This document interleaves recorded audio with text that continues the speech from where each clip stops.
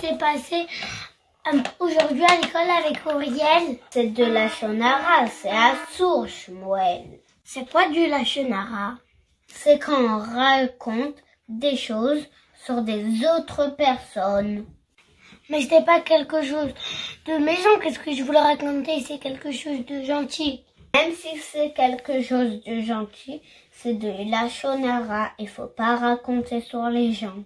Tu sais, Shmuel, à l'époque du Bektam et Godash, mec qui faisait de la shonara, il avait une maladie qui s'appelait de la lèpre. C'était des gros boutons.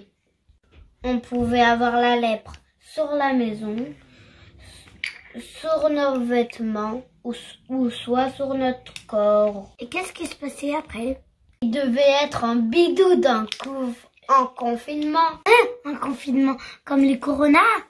Oui, il devait être en confinement pendant sept jours et le et le huitième jour, euh, il devait ramener un corban.